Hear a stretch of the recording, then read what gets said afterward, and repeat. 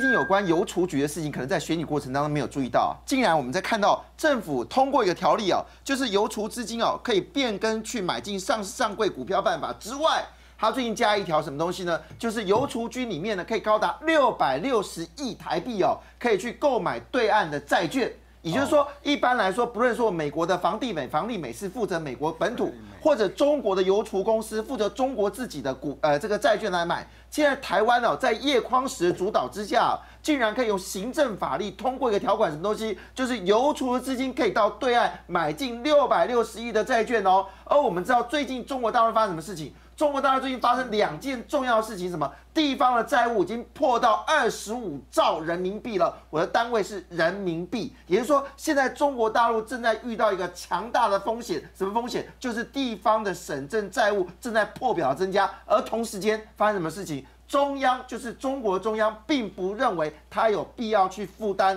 中国未来地方债务的发生，因此。更有趣的内容什么？最近中国大陆公布它的存款，整个存款是下滑超过十三个百分点。哎，奇怪，中国不是经济在增长，这个存款却减少呢？好了，中国存款减少，但贷款需求增加，所以也就是说，台湾在过去这个段时间，总共放了二点一兆新台币去对岸这个。这个呃做贷款好做贷款就算了，可是我们知道最近的新闻告诉我们什么事情？最近新闻包括索利出事了，包括中国的钢铁出事，包括中国最大的风力这个呃这个风力公司也可能债务不能还清了，而中国最近公司债的发行量已经比美国更高了。在这么多的风险警告，我们的立法委员在这个立法院去。质询我们的官员的时候，我们的叶匡时竟然巧巧的就通过了邮局的钱哦，邮局的钱哦，可以投资对岸的债券。你说在这种情况下，我们台湾似乎一点警觉都没有，因为目前看得出来，中国大陆现在需求恐急。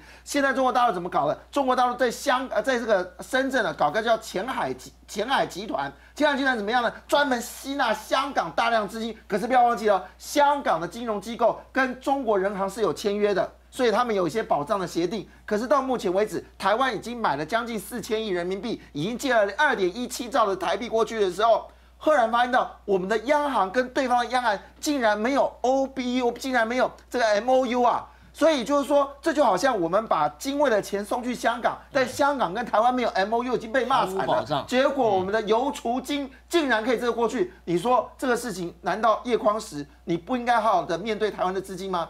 嗯，这个问题很重要，我们要做三级。我我我觉得这个事情，因为我们在讲这个精卫 TDR，然后因为这牵扯到说它背后的大股东哈，那在中国的包括甘源，然后包括温云松这些的关系，就其实那是在针对这个连胜文个人，可是他已经延伸到之前有好几位委员哦。呃，咨询说，到底我们的公营行库对大陆的，对，就说对大陆地区中资企业哦，光中资哦，今天如果说，哎，比如你是，呃，给宝成、给富、给这个富士康这种的话，算是台资企业，可是呢，我们光中资企业这边的贷款的金额哈。呃，我这边看到的是五百零四亿，也就是说，类似类似像索利这种，就是完全像金卫这种纯中资的机构，就有五百零四亿。那可是呢，整个全部就说，呃，这是到今年八月，呃，台湾就是本国银行对大陆地区的授信投资还有资金的拆存总额，这个大家知道是多少吗？到目前为止，现在最新的总额度是。